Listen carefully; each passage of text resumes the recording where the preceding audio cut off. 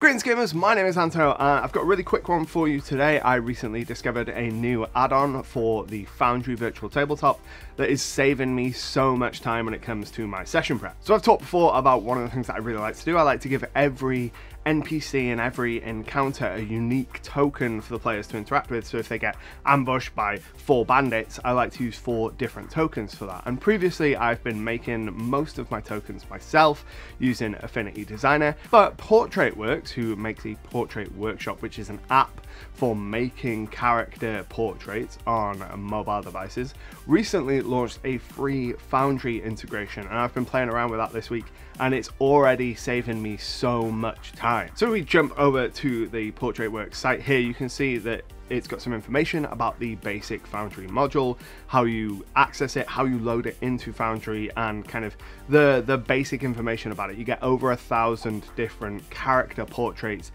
that you can use in Foundry for free.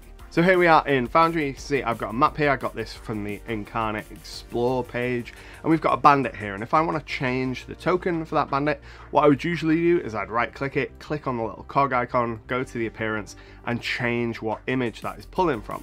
But with the Portrait Works module, you just double click on the creature in question, and then up top of the little pop out here, there's a Portrait Works button. Hit that, and you have your generator. So you've got different options, male and female, several different racial options, and then a different role, so the different classes. This is a bandit, so let's say it's going to be a half orc fighter. So then we hit save, it's going to ask us to confirm whether we want it to be the profile image and the token or just one or the other.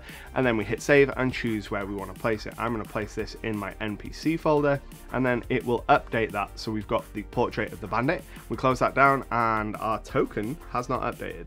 There we go. It's just because I hadn't dragged it out.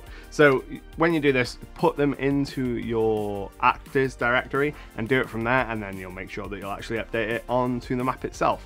But if I wanted to go ahead and change this, I can double click on that and we can change it, let's say, to a female gnome rogue.